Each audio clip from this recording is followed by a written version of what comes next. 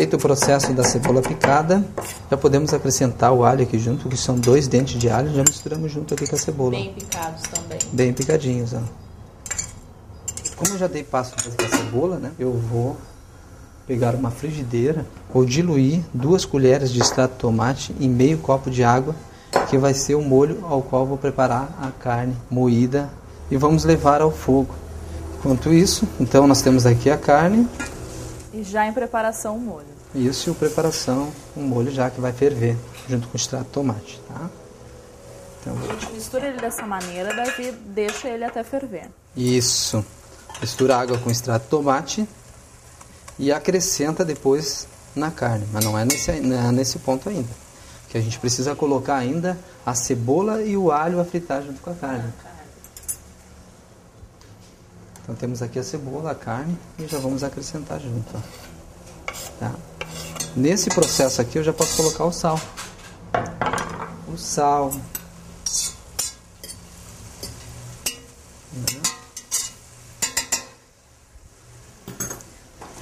colocar o sal, a pimenta síria.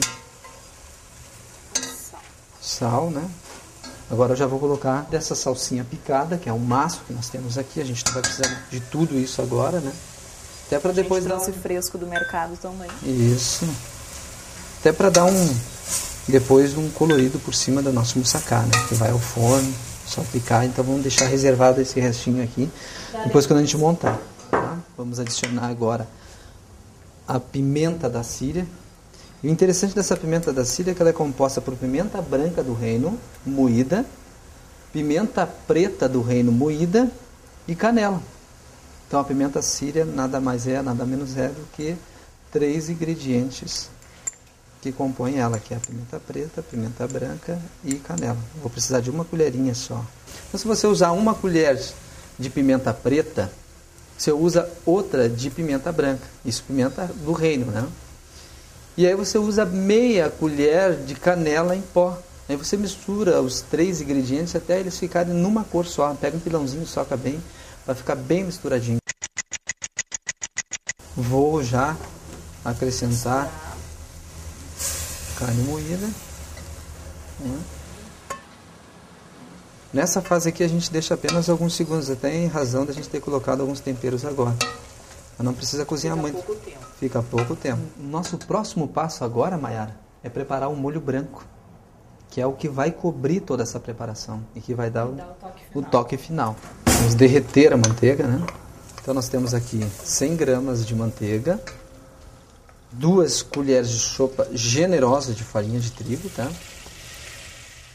Mistura bem. Ou duas, quatro colheres rasas de farinha, colheres de sopa, né? Quando você chega nesse ponto aqui, ó, baixa um pouquinho o fogo. Não deixa muito alto, porque senão pode até queimar, grudar. Agora não precisa de alta temperatura. Só depois. Ó, vai mexendo, frita bem a farinha. Olha só como é que tá aqui a corzinha dele, ó.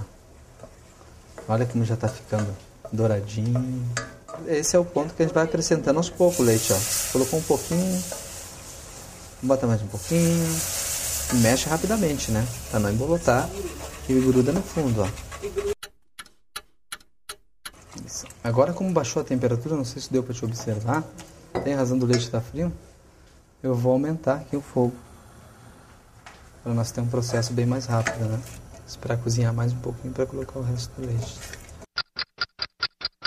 Depois de um molho pronto, então, Mayara, vamos finalizar temperando, né? Com sal. Vamos temperar com sal. A gosto também? A gosto.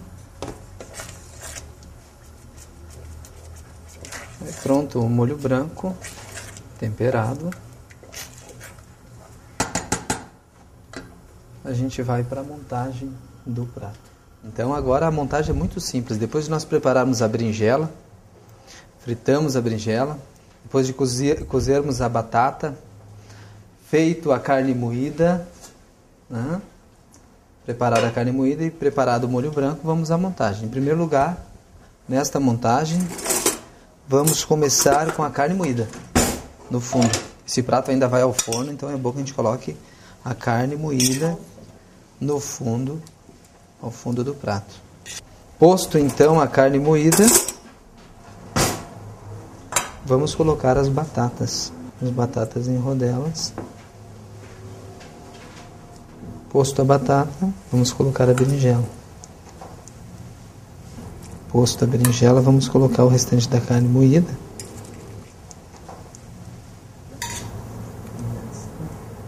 Vamos agora colocar o restante das berinjelas. Agora entra em cena o molho branco que preparamos. Vamos acrescentar essas rodelinhas de berinjela. Só para fazer um, uma decoraçãozinha. Posto então as berinjelas, vamos finalizar com farinha de rosca para dar aquele, aquele douradinho por cima. Aí vem uma salsinha picada que a gente reservou. Depois de montado então a nossa preparação, vamos levar ao forno pré-aquecido. Até que tome cor por cima da, da preparação, tá?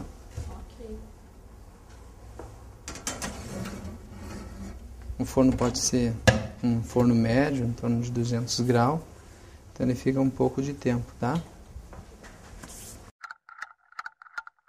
Então vamos ver como ficou o nosso prato, Davi. Vamos. Então já dourado então a superfície do prato. Já podemos servir. Vamos ver então como, ficou. ficou, né?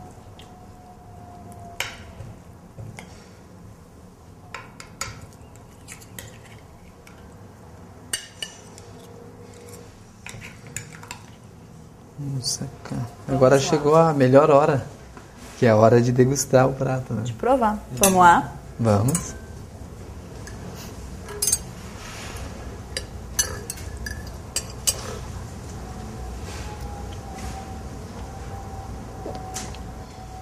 Muito bom, Davi. Parabéns. Que delícia. Prato aprovado.